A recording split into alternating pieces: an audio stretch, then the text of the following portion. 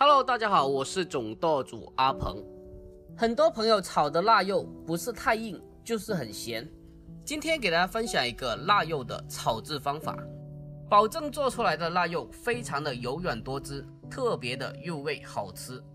喜欢的朋友可以跟着我的镜头一起来看一下我是怎样做的吧。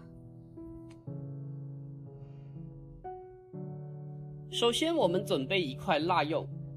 腊肉是中国腌肉中的一种，很多人都喜欢吃，主要流行于四川、湖南、广东一带等大部分的南方地区。腊肉不管是炒还是炖，吃起来都别有一番风味。但是很多朋友炒出来的腊肉都非常的硬，而且还特别的咸，根本就没法吃，难以下咽。今天给大家分享这个炒腊肉的方法，保证这样炒出来的腊肉柔软多汁，吃起来非常的香，而且一点也不会觉得咸。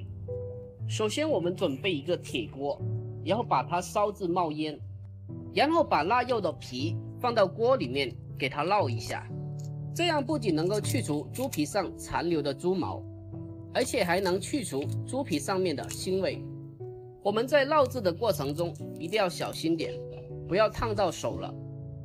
把猪皮烙至金黄，像这种状态就可以了。然后将烙好的腊肉放进大一点的碗中，加入适量的开水，没过腊肉。先把腊肉浸泡一会，这样在等下清洗的时候会方便很多。将腊肉浸泡至水温不烫手的时候。用小刀把猪皮刮干净，把腊肉表面的脏东西全部都用刀给它刮干净。我们在清洗腊肉的时候一定要有耐心，要将它彻底的清洗干净，不然在吃的时候会影响口感。我们在清洗完一遍之后，再换上干净的清水给它漂洗一遍。可以用一个干净的钢丝球把表面刮一刮，藏在腊肉缝隙里面的灰尘也要将它擦干净。最后再用流动的清水将它再次冲洗一遍，最后洗成这样子就可以了。这个时候的腊肉已经清洗的非常的干净了。接下来，我们将它放进锅中，倒入适量的清水，没过腊肉，再给它来上几片姜片，扣上盖子，把它烧开。水开以后，煮二十分钟左右，把腊肉煮熟。接下来，我们来准备一点配料，准备一把清洗干净的蒜苗，用刀把蒜苗头轻轻地拍一下。然后再斜刀将它切成段，这样的蒜苗更加容易熟，而且吃起来更加入味。剩下蒜苗的叶子，我们直接给它切成小段就可以啦。全部切好之后，蒜白的部分单独给它盛放出来，剩下的蒜叶我们同样给它单独的盛放出来，用个小碗给它装起来。接下来，我们再准备几个青椒，清洗干净之后，将它用斜刀切成薄片，全部切好之后装在碗中备用。接下来再准备几个小米椒，同样用刀将它改刀切成薄片。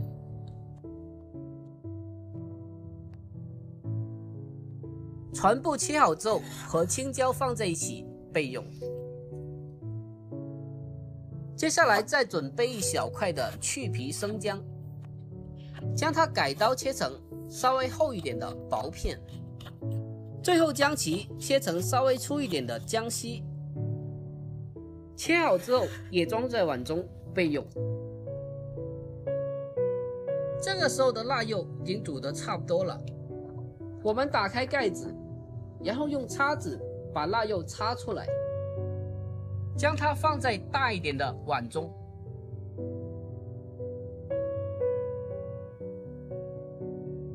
接下来再倒入适量的温水，将腊肉清洗干净。经过这样的处理之后，腊肉就非常的干净了。然后将它捞出来，控干水分。接下来把清洗干净的腊肉放在案板上进行改刀处理，把腊肉切成薄薄的厚片，薄厚尽量的均匀一些。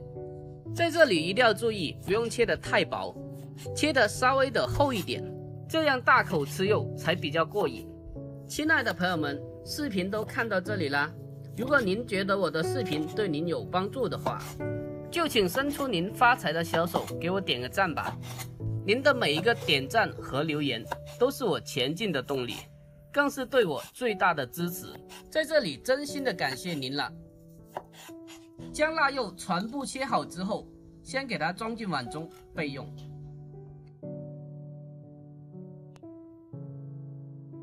接下来，我们起锅，倒入适量的清水，然后把刚刚切好的腊肉给它放进锅中，然后开大火把腊肉再稍微的煮一下，大概煮个两到三分钟左右。这样处理过的腊肉吃起来就不会太咸了。煮好后，用漏勺控水捞出，装入盘中备用。照我这个方法做出来的腊肉，吃起来绝对不会太咸，而且口感也不会发硬，非常的柔软。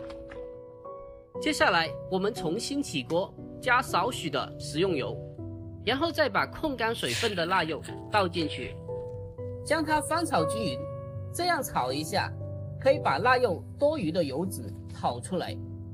而且这样吃起来还会更加的香。这个时候一定要注意，用小火慢慢的煸炒。在炒腊肉的时候，火力不要太大，同时也不要炒得太干，否则的话腊肉会变得比较硬。把腊肉炒出油脂后，再把姜丝放下来炝香，最后再把腊肉盛出来备用。接下来锅中留底油，然后把青红辣椒给它倒进锅中。下锅后，先给它翻炒一下，将它翻炒均匀。接下来再把青蒜梗给它放进锅中，再次将它继续的翻炒一下。炒腊肉最好放一点蒜苗，蒜苗能最好的激发出腊肉的香味。这个时候加少许的毛毛盐，再来一丢丢的白糖，还有鸡精。在这里，因为腊肉本身有盐分，所以在这里只需要将配菜下一点底味就可以了。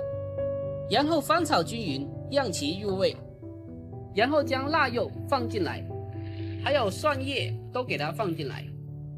接下来开大火，快速的翻炒均匀。我们在炒腊肉的时候就不用加其他调料了，吃腊肉就要吃它的原汁原味。只有这样吃起来才会更香、更好吃。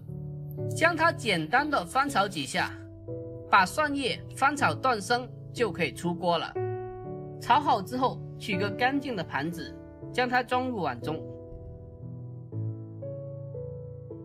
就这样，一盘非常好吃的腊肉就做好了。它的做法非常的简单，吃起来咸味适中，口感相当的好。这样炒出来的腊肉，上桌后家里人都特别的喜欢吃。每次家里要是炒腊肉，我都能多吃一碗米饭，真的是太香太好吃了，超级的下饭。喜欢吃腊肉的朋友，可以按照这个方法收藏起来试一下，保证您做出来的腊肉吃起来一点也不硬。好了，今天的视频就分享到这里了。喜欢我的视频，记得点赞、收藏、留言并转发哦！点我的头像可以看到更多的美食视频，我每天都会发布不一样的美食视频。